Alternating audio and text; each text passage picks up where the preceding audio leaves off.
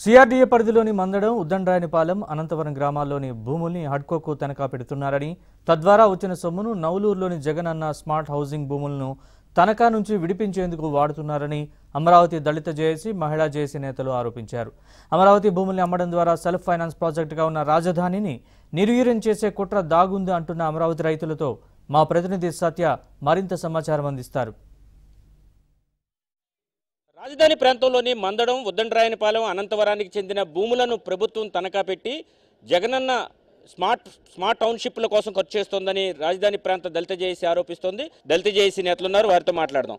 నాలుగు వందల పైచిలకు ఎకరాల భూమిని ఇప్పటికే తనఖా చేసినట్టుగా తెలుస్తోంది. మీరు ఏం ఏం చెప్పదలుచుకున్నారు ప్రభుత్వానికి? అదే సమయంలో ఈ రిప్రజెంటేషన్ ఎవరికి ఇవ్వదలుచుకున్నారు? మేము అమరావతి రాజధాని గత ప్రభుత్వం కట్టుబట్టలతో వస్తే మేము మా తాత ముత్తాతల భూములను రాజధానికి ల్యాండ్ పూలింగ్ ద్వారా ఇచ్చాం.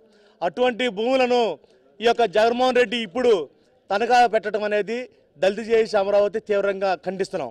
ఎందుకంటే అమరావతి రాజధాని అభివృద్ధి చేయటానికి అభివృద్ధి చేయకపోగా అమరావతి రాజధానిలో ఉన్న భూములను తనఖా పెట్టడం అనేది నిత్యమైన చర్య.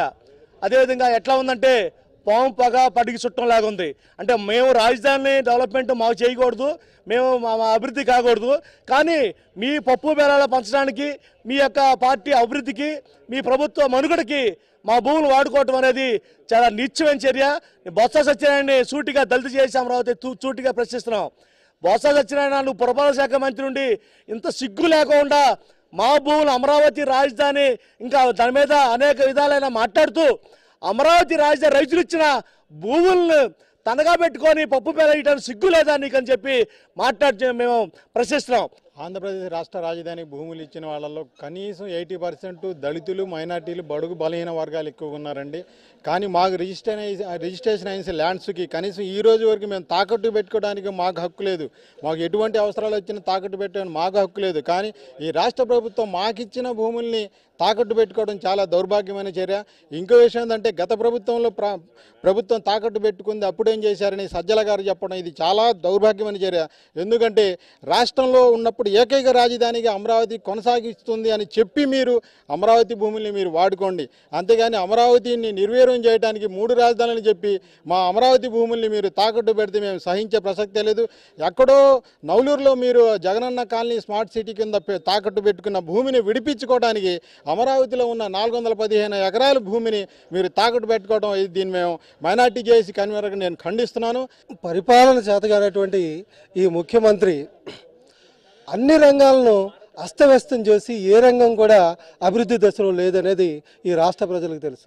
అమరావతి ప్రాంతం ఆనాడు రైతులు ఏదైతే పార్ట్నర్షిప్తో ప్రభుత్వంతో జరిగిన అగ్రిమెంట్ ప్రకారం అమరావతి డెవలప్మెంట్ కోసం ఇచ్చారో దానం చేశారో ఎనిమిది వందల రోజులకు పైగా పాదయాత్రలు చేసి ఇక్కడ ధర్నాలు చేస్తున్నటువంటి రైతులకి ఏమాత్రం పడతలేదు ఈ ప్రభుత్వానికి.